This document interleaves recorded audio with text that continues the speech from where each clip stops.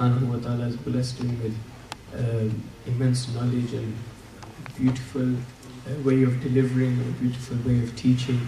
Um, the Shaykh, um, alhamdulillah, has studied under many great shaykh, some of the best individuals and personalities uh, of this nation in the Islamic world. He studied under um, Sayyids, the Sadat, the family of the Prophet wasallam, such as Sheikh Habib Umar, Sheikh Habib Ali, um, Sheikh Habib Ghazi al Saqaf, and also scholars like Sheikh Murabit al-Hajj. Um, Allah subhanahu wa ta'ala gave him this opportunity.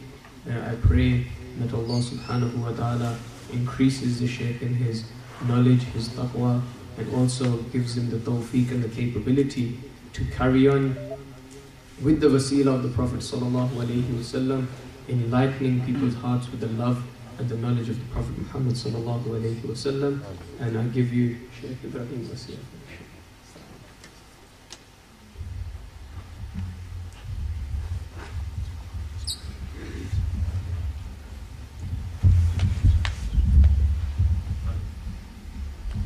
بسم الله الرحمن الرحيم الحمد لله الحمد لله رب العالمين حمدا يوافي نعمه يكافئ مزيدا.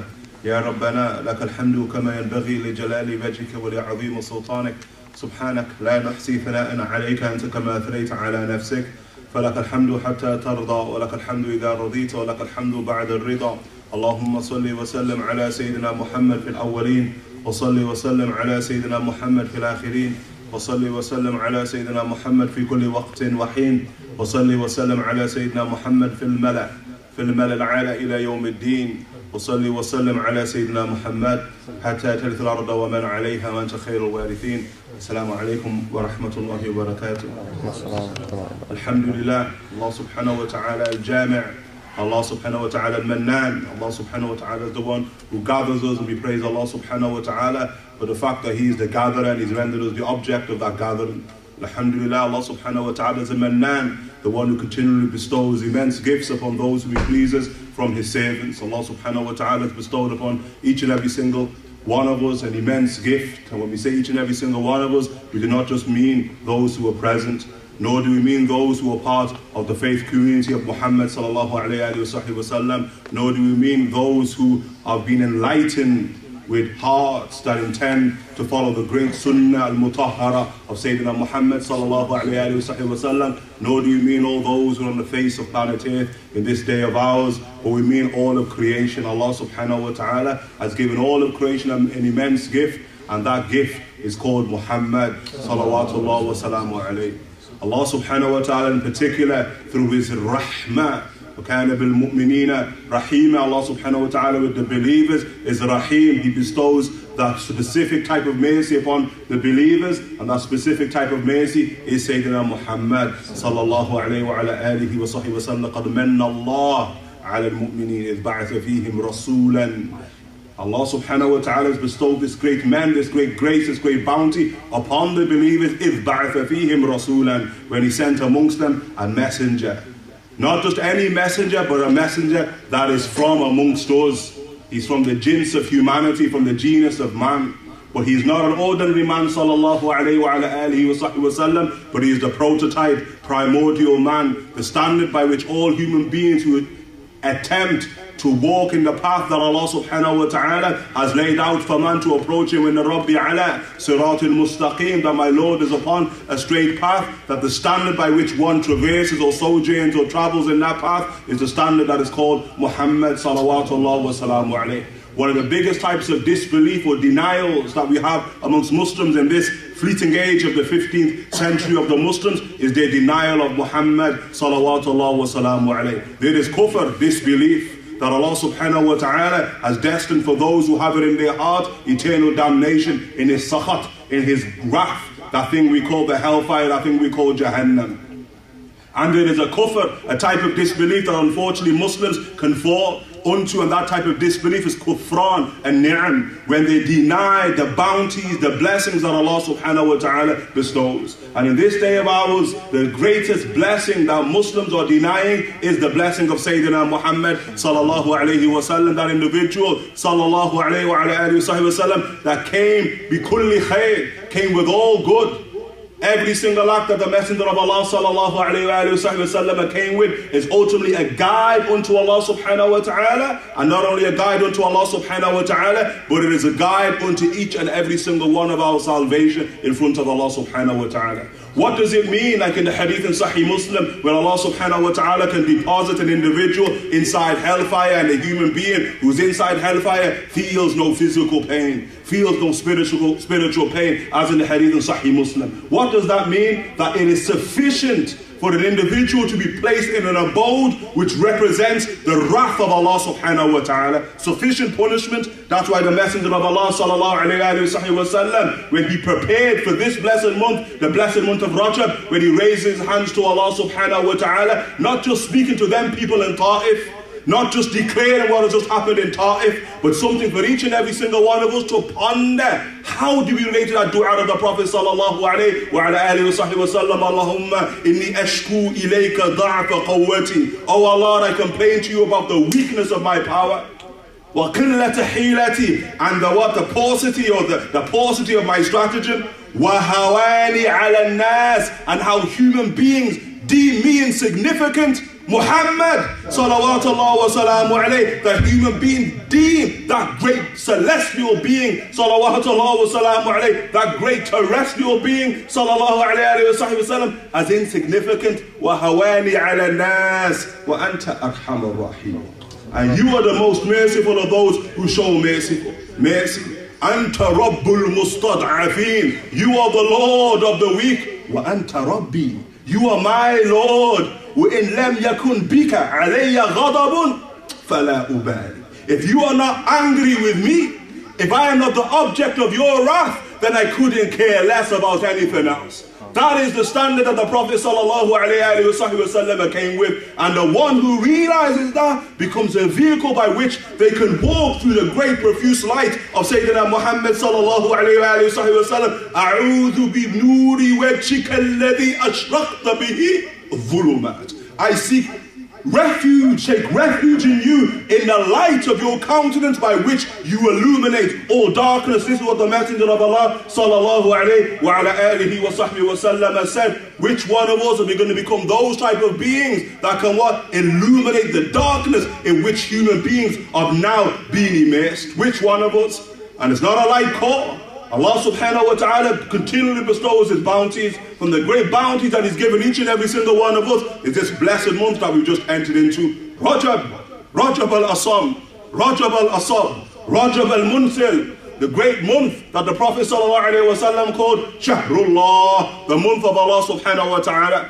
A month in which Allah subhanahu wa ta'ala ordinarily who turns towards his creation by night and the third of the night to see which one of us have done sins unto Allah subhanahu wa ta'ala and want to return back unto Him. But in this month, Allah subhanahu wa ta'ala is looking for humanity, those whose hearts are broken like the heart of the Messenger of Allah sallallahu alayhi wa sallam was a broken heart at that moment when he stood at when he stood at Ta'if, turning towards his Lord due to what had transpired. Which one of us turned back towards Allah subhanahu wa ta'ala? The guide is Muhammad, but who will take him as a guide?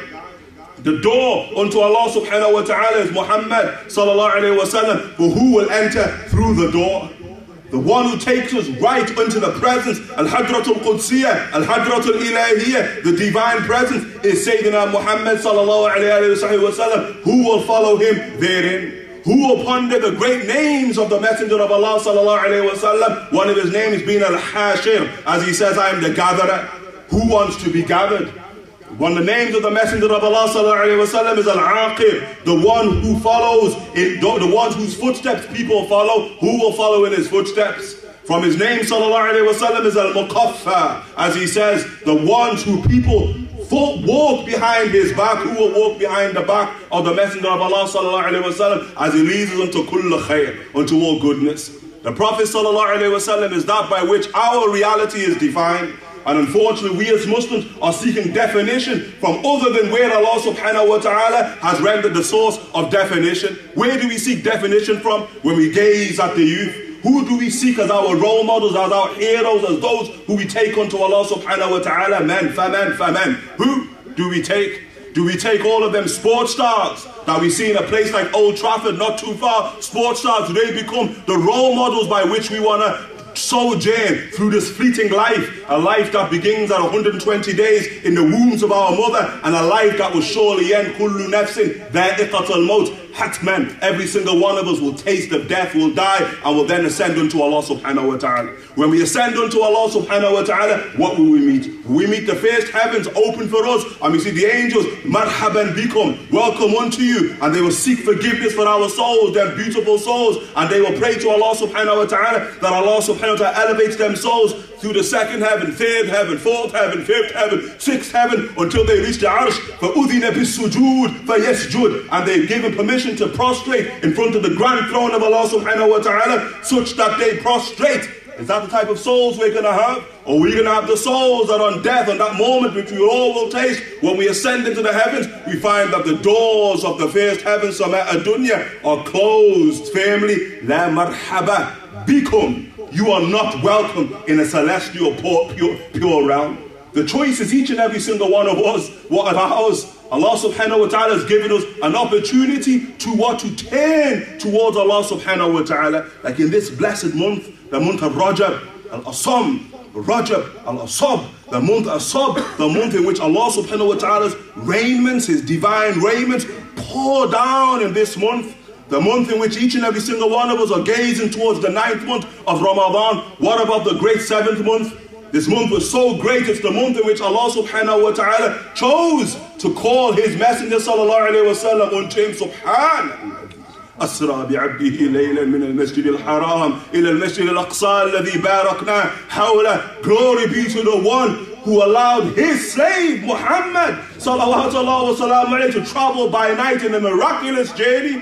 no journey has been more miraculous than that great journey that he made. Sallallahu alayhi from Mecca al-Mukarramah toward the great holy land of Jerusalem. Alladhi barakna hawla. That which Allah subhanahu wa ta'ala has made blessed all around this month, Rajab. That is the great return because the month is about to return to Allah subhanahu wa ta'ala. But if you want to know how to return unto Allah subhanahu wa ta'ala, then we have to understand standards. Standards by which Allah subhanahu wa ta'ala has set the bounty that Allah subhanahu wa ta'ala has bestowed upon each and every single one of us. Yatlu alayhim ayatihi. The one, Sayyidina Muhammad, who recites unto each and every single one of us the verses of Allah subhanahu wa ta'ala. And it's just not just a mere idle recitation. Tala in the Arabic language, yatlu can mean to recite, but tala in the Arabic language also means what? To follow. Ah. وَالْقَمَرِ إِذَا تَلَاهَا when the moon follows the sun, the course of the sun, which one will follow Shams, Muhammad, Shamsul Huda, Badru Duja, Sayyidina Muhammad sallallahu alayhi wa alayhi wa sallam, which one will follow him therein? You see, and we should personalize the message because many of us are thinking of many people who don't follow the Prophet Muhammad sallallahu alayhi wa. That your most avowed enemy is the one that lies between your own two sides. That's what the religion of Islam has taught us. We don't need to look outside for those people who stray from the path of Sayyidina Muhammad wa but we need to gaze firmly into the depths of our own souls. Because all of us fall short of Sayyidina Muhammad wa and life is about damage limitation, how we can fall short less in the stead of the Sayyidina Muhammad sallam. What's the difference between Abu Bakr and Umar? The deficiencies of Abu Bakr quote unquote, when you take Sayyidina Muhammad, that perfect being, perfect being sallallahu alayhi wa sallam, everybody's deficient in accordance to that standard. But how deficient are we? Abu Bakr's quote unquote, and I stress quote unquote, deficiencies were less than Umar's. Umar's deficiencies were less than whom? Uthman. In relation to Muhammad sallallahu alayhi wasallam, that every single deed that he done was khair. But what about us? Ba'id, distant from Sayyidina Muhammad sallallahu alayhi wasallam distant from Abu Bakr as-Siddiq, distant from Umar ibn al-Khattab, distant from Uthman ibn Affan. And when we speak about Ali Haydar, Ahlul Bayt, and the people, the father of Ahlul Bayt, distant from them great beings that Allah subhanahu wa ta'ala has left as a guide for each and every single one of us. Taraktum fikum shay'ain. I have left amongst you. The Messenger of Allah sallallahu alayhi wa sallam said two things. In tamassaktum bihi, then tadillu abada. If you hold on to them, you can never go astray. Kitabullah, the book of Allah, wa itrati ahlul and my family, the family, the pure family of the Messenger of Allah sallallahu alayhi wa sallam, how then do we walk inside the footsteps, following that book that he recites unto each and every single one of us? Yatlu alayhim ayatihi, that he recites unto them the signs, the verses, the book of Allah subhanahu wa ta'ala, in order that we take them as signs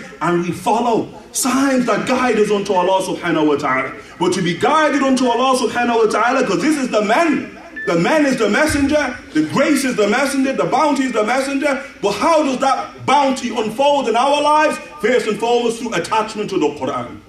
Attachment to the book of Allah subhanahu wa ta'ala. And attachment by extension not only to the book, but to the family of the Messenger of Allah sallallahu alayhi wa sallam. لا يفترقان حتى يرد علي الحوض. The Prophet sallallahu alayhi wa sallam said, the book of Allah and my family will never be severed until they meet me at the life pool in the other world. يَرِدَ عَلَيَّ الْحَوْض They come unto me in the life pool. That is what we need to understand that the book is something abstract, but it is anchored upon earth in human beings. And the greatest human beings that has been anchored in is in the family of the Messenger of Allah sallallahu alayhi wa This is the standard. Huh? That's why Sayyidina Ali, when he was asked, did the Prophet sallallahu alayhi wa sallam, يَخُصُّكُمْ أَهْلُ الْبَيْتِ بِشَيْءٍ Did he give Ahlul Bayt anything that he never gave the, the, the rest of the companions? Sayyidina Ali says, ah, he didn't give us anything other than he didn't give the companions إِلَّا فَهْمًا فِي كِتَابِ اللَّهِ Except understanding of the book of Allah subhanahu wa ta'ala.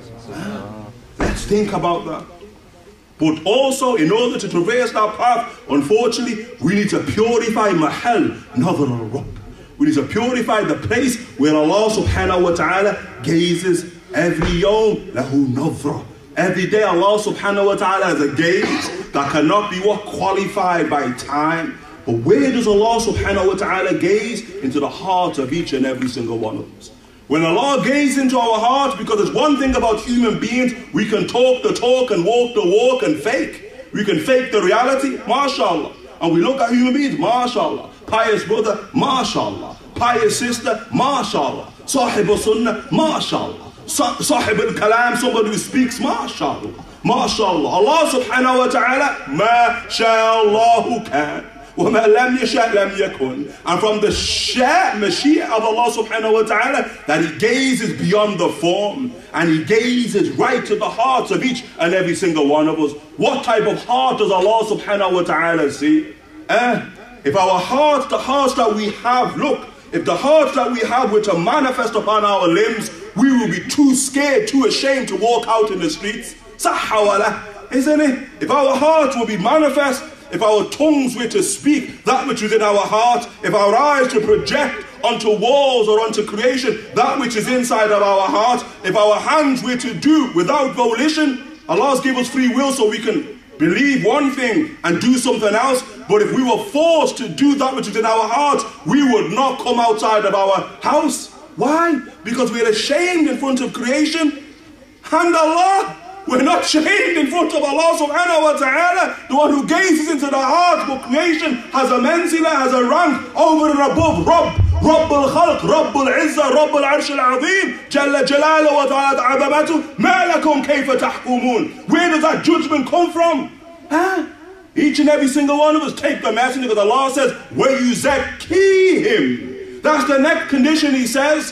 When they realize I have to follow the book of Allah subhanahu wa ta'ala that is grounded in the family of Allah subhanahu wa ta'ala, now in order to be honored with the ability to follow the book of Allah subhanahu wa ta'ala through that blessed people of the great family, I need to have a pure heart. I need to set about purify my heart, and that purification comes through one being, Yuzaki huwa sallallahu Alaihi Wasallam. He is the one who purifies the heart of each and every single one of us. Yuzakihim wa kitab. Look at this, yu'allimuhumul kitab. Didn't he recite the book? Wasn't the book grounded in people? The ayat of Allah subhanahu wa ta'ala يَتْلُ عَلَيْهِمْ آيَاتِهِ وَيُزَكِّيهِمْ وَيُعْلِمُهُمُ الْكِتَابِ Because now, when the heart is pure, فَهْمًا آخَر They have a different type of understanding of the book of Allah subhanahu wa ta'ala. The book of Allah subhanahu wa ta'ala is no longer there as abstract, suspended in space, but it becomes a guide which they take unto Allah subhanahu wa ta'ala. A guide by which they wake up in the morning, a guide by which they run swiftly in order to purify themselves, forsaking sleep. يتجافى جنوبهم عن المضاجع يدعون ربهم خوفا وطمعا ومما رزقناهم ينفقون that these people who are who leave their beds at night they go unto Allah subhanahu wa ta'ala and they raise their hands unto Allah subhanahu wa ta'ala khawfan out of fear of the wrath of Allah subhanahu wa ta'ala tama'an out of desire for the what? The mercy of Allah subhanahu wa ta'ala that uh, bestows over them high. وَمِمَّا how? وَمِمَّا رَزَقْنَاهُمْ يُنْفِقُونَ that everything that Allah subhanahu wa ta'ala has given them يُنْفِق they give out for the sake of Allah subhanahu wa ta'ala purification of hearts. They run unto prayer. The Prophet sallallahu cool our hearts, give us ease, put us into a state of serenity and tranquility, Ya Bilal. With what? The adhan, Allahu Akbar, Allahu Akbar, Allahu Akbar, Allahu Akbar. So they can enter into the sphere of divine commune, sphere of divine what? Address, see, sphere of what? Intimate talk discourse with Allah subhanahu wa ta'ala. Who's been granted that?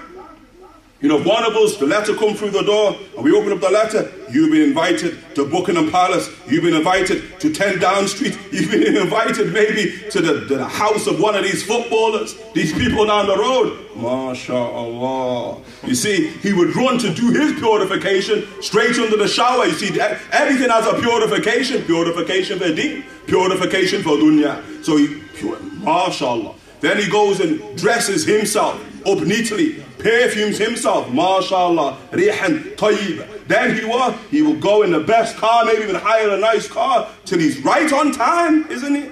He's not going to be late for that appointment, right on time, so he can enter into what? Into the sphere of the people of the dunya. But Allah subhanahu wa ta'ala has ennobled us, لَقَدْ كَرَّمْنَا بَنِي Adam. He has ennobled the human being, and the ultimate ennoblement of the human being is that Allah subhanahu wa ta'ala has given us an opportunity to stand in His presence and to have commune with Him, to have discourse with Him. And the greater benefit and bounty that He's given each and every single one of us, because you could be in the presence of Allah, but you don't know what to do. But we've been taught what to do when we stand in the presence of Allah subhanahu wa ta'ala by the great teacher, إِنَّمَا بُعِثْتُ مُعَلِّمًا sallallahu alayhi wa sallam. I've only been sent as a teacher. And who will take him as a teacher? You see, the purification of the heart through following the example of the Messenger of Allah sallallahu alayhi wa sallam allows us to what? To approach the book of Allah subhanahu wa ta'ala as a guide for us in each and every single thing that we do. And not only is it a book abstract, but then it shows us how to apply the book. That's why Allah says, Well hikmah. يُعْلِمُهُمُ الْكِتَابَ وَالْحِكْمَةَ He teaches them the book and then hikmah, wisdom. What is wisdom? It is sound, correct application of kitabullah of the book of Allah subhanahu wa ta'ala, Allah wa hiya sunnah. Is that not the sunnah of the Messenger of Allah sallallahu alayhi wa alayhi wa How do you apply the book? With wisdom with precision in a way that it becomes yani, something that is mardi in the Rabb, something that is pleased Allah subhanahu wa ta'ala is pleased with. And unless somebody goes through these steps, taking the Messenger of Allah as a guide, then khalas. لا فائدة فيه. There's no benefit in it whatsoever. Why? وإن كانوا من قبل لفي ضلال مبين. Each and every single one of us prior to taking this, prior to understanding this, was in evident what? Estrayment. Evident estrayment. Hatman. No doubt about it. We have a guide. And are we, are we not proud? Do we not feel honored? MashaAllah. Really feel honored that I am from the community of the Messenger of Allah sallallahu alayhi wa alayhi wa sallam. that's how the Sahaba were. The Sahaba were very proud, yani pride in a good sense, that they were from the community of the Messenger of Allah. They could walk in front of the kings of the world when Sayyidina Dihya ibn Khalifa al-Kalbi, when he was sent by the Prophet sallallahu to go to Hercules II, Herakl, the great Caesar of Rome, Azim of Rome, he was sent unto him. What did what did Sayyidina Dihya al-Kalbi do? He has the letter of the Prophet sallallahu alaihi wasallam ila Azim in Rome. من محمد رسول الله إلى عظيم الروم أسلم تسلم from Muhammad, the messenger of God, to the great one of Rome. Submit and you will be safe. Surrender and you'll be safe. Become Muslim and you become safe. Dihya as the latter, and when he walks, he's in he's in he's in um, Busra, in one of the southern provinces of Rome, in southern in southern Syria, modern day southern Syria, and they have the great red carpet, and they have all of the troops of Caesar, all of his all the king's horses and all the king's men are all present. Dihya who walks with what? With the light of Sayyidina Muhammad sallallahu alayhi wa sallam, that form Dihya al-Kalbi by which Gabriel, Jibril used to descend in his form. And when Dihya walks up to the red carpet, he sees Caesar walking, he has the letter of the Prophet sallallahu alayhi wa sallam. He just throws it in front of Caesar. He's Azim Rome. But how is Azim Rome in front of Al-Azim? How? How is Azim Rome in front of Abdul Azim? Sallallahu alayhi wa sallam. How is Al-Azim Rome in front of Rabbul Arsh Al-Azim? How? Huh? The Lord of the great throne, the great immense Lord, the servant of the great Sayyidina Muhammad sallallahu alayhi wa sallam. La shay. Throws it in front of what of Caesar. You see? How about us? How are we? What type of light do we walk with? What type of light do we walk in? Allah subhanahu wa ta'ala has ennobled us. لَقَدْ كَانَ فِي رَسُولِ اللَّهِ أُسْوَةٌ حَسَنَةٌ In the messenger of Allah, you have a perfect example. Perfect. Perfect example. But that perfect example, only certain people realize the perfection of that example. لِمَنْ كَانَ يَرْجُ اللَّهِ For the one who truly desires Allah. Truly desires Allah subhanahu wa ta'ala. وَالْيَوْمُ الْآخِرِ and he desires the day of judgment. Why? Because he understands that is the moment by which he will be finally granted his ultimate wish, which is what? To be in the presence of Allah subhanahu wa ta'ala in the real, absolute sense. And how does he attain that? Through the purification of the heart. وَذَكَرَ اللَّهَ كَثِيرًا He, what, he is in what? Oft remembrance of Allah subhanahu wa ta'ala. Because the heart needs to be purified. And the Prophet ﷺ said, ذِكْرُ اللَّهِ سَقَّالَ لِلْقُلُوبِ the remembrance of Allah subhanahu wa ta'ala is that which polishes the heart, cleanses the heart, the heart on which each and every single one of us have ala qulubihim. You have that darkness, that rust upon the heart on each and every single one of us, why be candle? Because of that which we do, the acts by which we do day and night. Huh?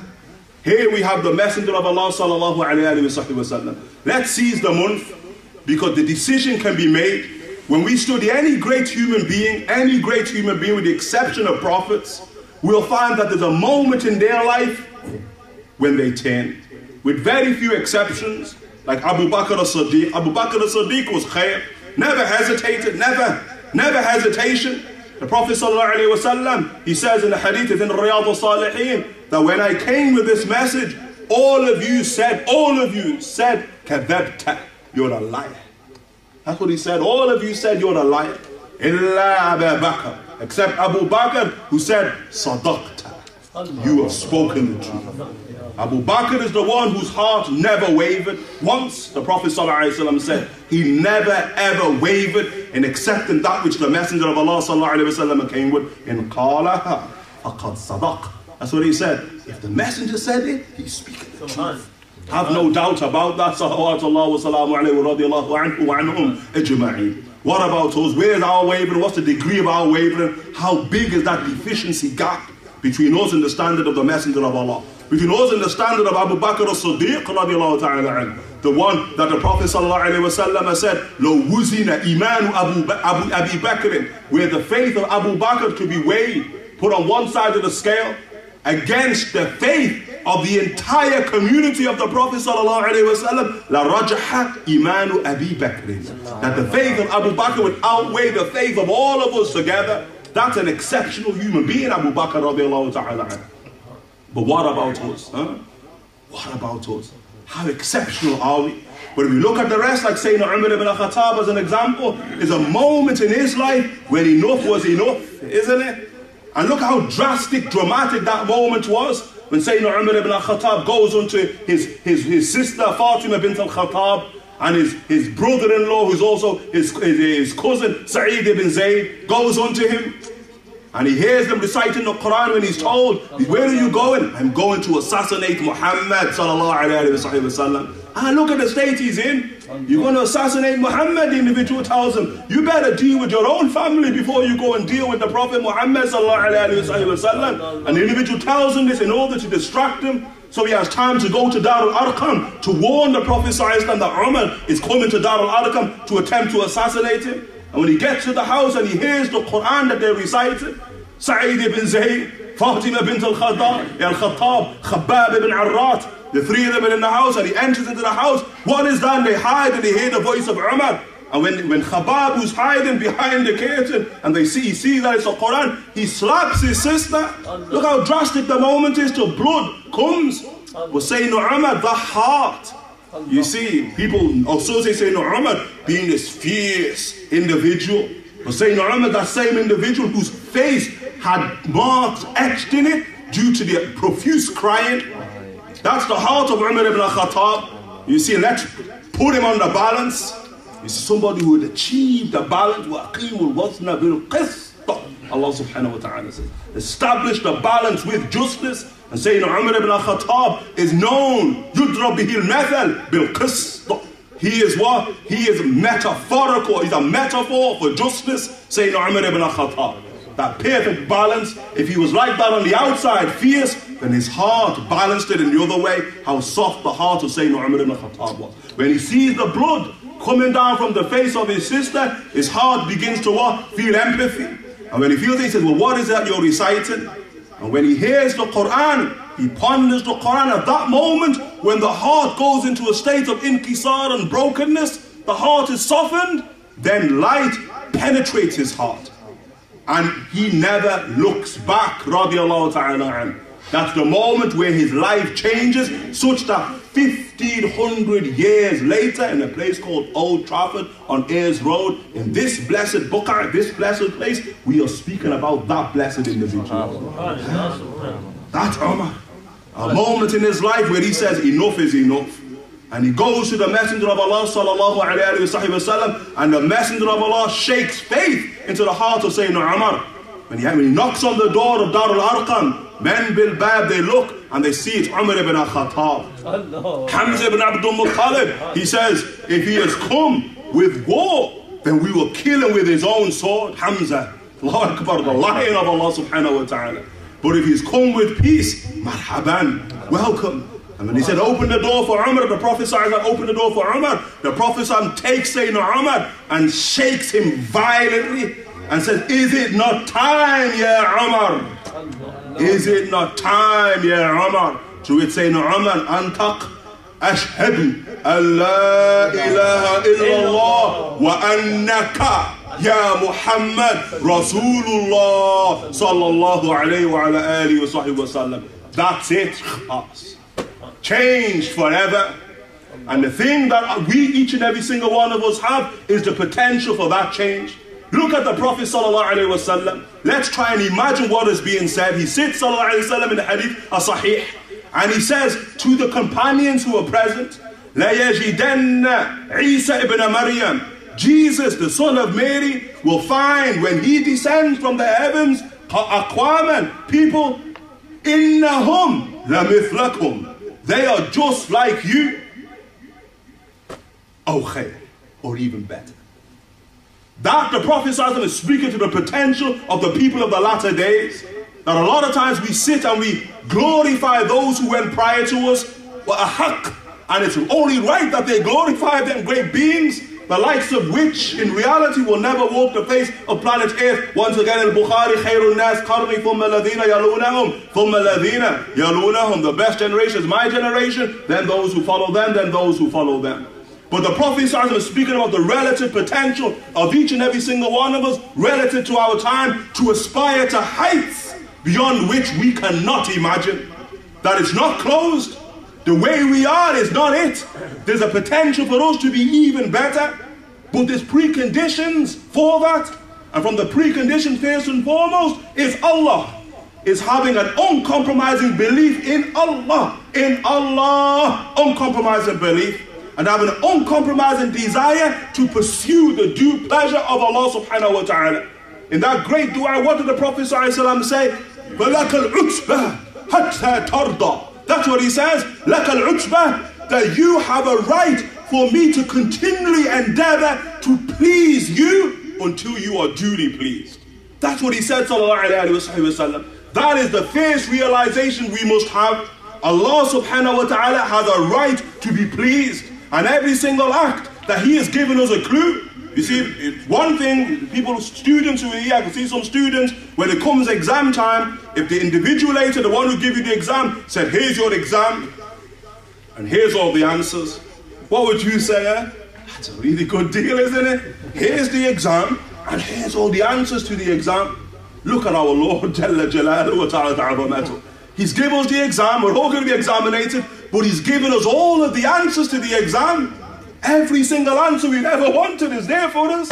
All we've got to do is take it and internalize it, embody it, and walk with it. Allahu Akbar.